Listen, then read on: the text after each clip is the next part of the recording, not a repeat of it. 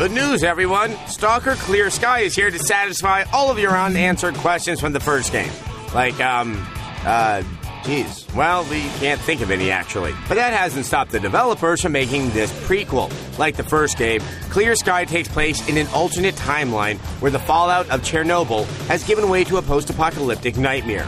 You play as Scar, a mercenary who somehow survives an explosive anomaly that kills the group he's with. You wake up in the base of Clear Sky, a mysterious faction who is working to unlock the mystery of the Fallout Zone. Our forte is not combat, but knowledge. The best change is the updated graphics engine.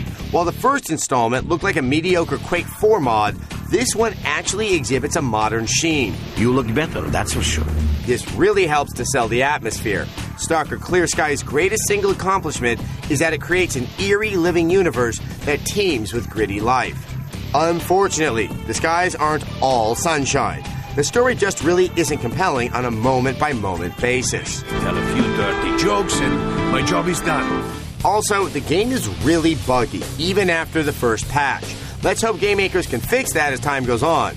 And at certain points, the game forces failure on you for lazy story reasons. So even though you've gotten your inventory just the way you like it, you'll have to start over again because the game decided to awkwardly advance the narrative. This story's finally got a damn good ending.